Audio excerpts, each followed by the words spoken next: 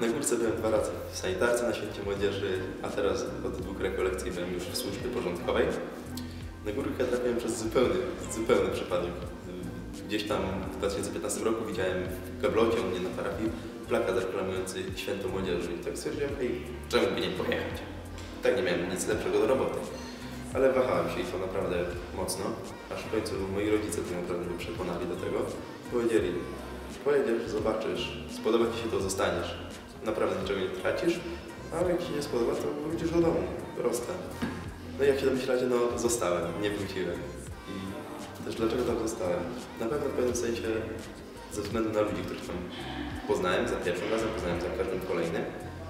To są naprawdę dzisiaj moi dobrzy znajomi, przyjaciele, na których zawsze mogę liczyć, zawsze mogę na nich polegać. Nigdy mnie nie wystawiają. Jak potrzebuję pomocy, to zawsze, zawsze ich mogę u nich szukać. Mogę u nich szukać. To jest naprawdę coś niesamowitego, niezwykłego wręcz. To też, co zauważyłem i zauważam po każdej rekolekcjach, że moja wieś z Panowowiem zawsze się zacieśnia. Jest tak, że teraz wiele rzeczy wydaje mi się już oczywistych.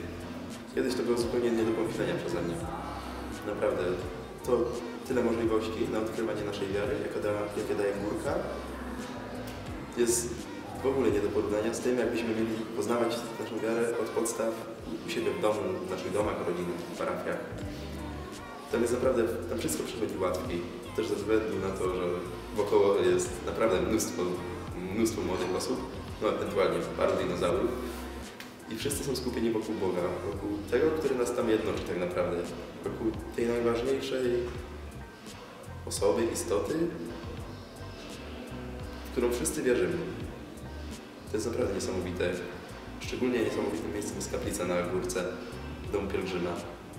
To jest, naz ludzie nazywają kaplicą cudów. Naprawdę, to co tam się ludzie już wyprosili i wypraszają, jest nie do pojęcia.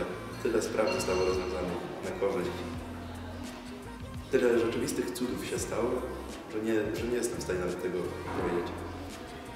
To, jest to miejsce jest też tak naprawdę, naprawdę już bliżej nieba, że Pana Boga możemy chwycić już za przysłowiowe nogi, ale to już gdzieś tam bliżej kolan, nie, nie gdzieś tam zabytki ledwo dotknąć. To jest naprawdę niesamowite. Po prostu tam wszystko się wydaje takie łatwe.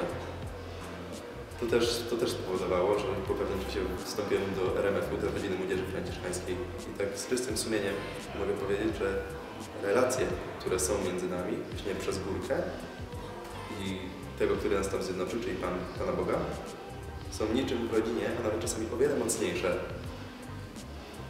To wszystko jest naprawdę nie do pojęcia, nie do opisania. Mogę się teraz produkować, mówić, opisywać, ale to i tak nie ma sensu. To wszystko trzeba zobaczyć, trzeba to przeżyć.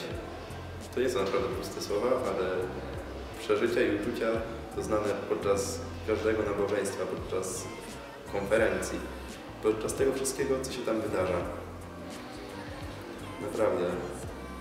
To jest po prostu tak piękne, że nawet to nie mogłoby być prawdziwe, a jednak się dzieje, jednak się zdarza. Jestem Mikołaj, jestem z górki.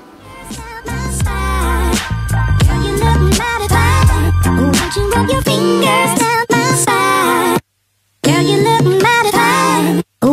of your fingers down my